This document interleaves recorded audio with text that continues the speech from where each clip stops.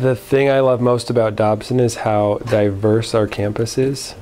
We have every socioeconomic background here. We have all sorts of ethnicities here. We have all sorts of different people here, and they all enjoy different things and they all contribute to Dobson in different ways. Well, I particularly enjoy all of the different classes and clubs that I, I have the opportunity to attend. Um, particularly, my favorite is always the band program and the FFA program. There is a passion for learning, there's a passion for Dobson that is I haven't seen it any place. And that's our strength. That's what's going to carry us through. And people don't know that until they walk our halls and they go in our rooms and they meet our students. Dobson is a great place and gives you an opportunity and prepares you for the future.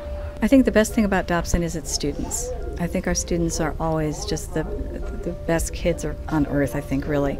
They're passionate, they're compassionate, they work hard.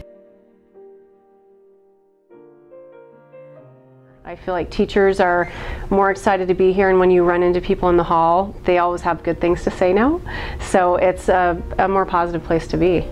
They take pride in themselves, I feel like, more now. Before it was they didn't really care about their grades. Maybe they didn't care about their school, but now it's their school. I see signs all over the place. It's my school, it's my community.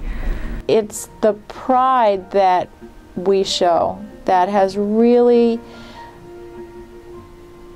it really developed over the last 10 years that since I've been here. It's that when you walk down the street, when you see that color blue, it's not just that color blue, it's Dobson blue. I've noticed our attendance at sporting events has gone up, our student pride's gone up, the number of students that you see wearing spirit shirts on the week or on uh, Fridays has gone up, our participation in most activities has gone up, and students really seem to want to get involved with our clubs.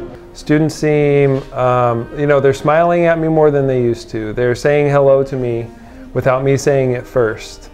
I think one of the biggest positive changes I've seen is in um, dress code is being enforced. Students are very respectful of teachers in the hallways. Man, Dobson has so many clubs and, and uh, different types of sports teams that students can join.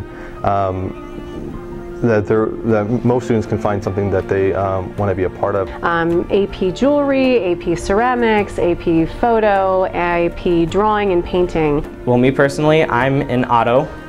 And uh, every year in auto, they do this thing called the pit crew. And you go out there and you're like a pit crew for NASCAR. And I have chickens here at Dobson, which is pretty cool. Um, I was in floriculture here at Dobson and we won fourth place in the state, so that was really fun.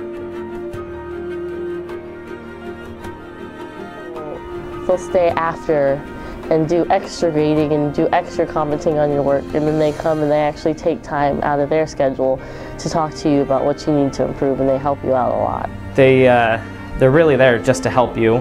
Um, it, there's a lot of personal interaction that goes on. I love my job. I'm here for them. They make me want to be here, to see them love school, to see them love biology. So many students are like, ew, science, but biology is who you are they're all really caring. They all have really nice personalities and they care. And so for me to be here in this classroom, a classroom that I was in as a 10th grader, um, now teaching 10th graders, um, every day I'm, I'm, constantly reminded of, um, of those people who have been here before me and who, who have excelled before me. Every day, you know, I'm working with hundreds of kids and they make me proud to be a part of this community. They're prideful of themselves, of their accomplishments, and what they're going to accomplish later on in life. When you see that color blue, it's not just that color blue, it's Dobson blue.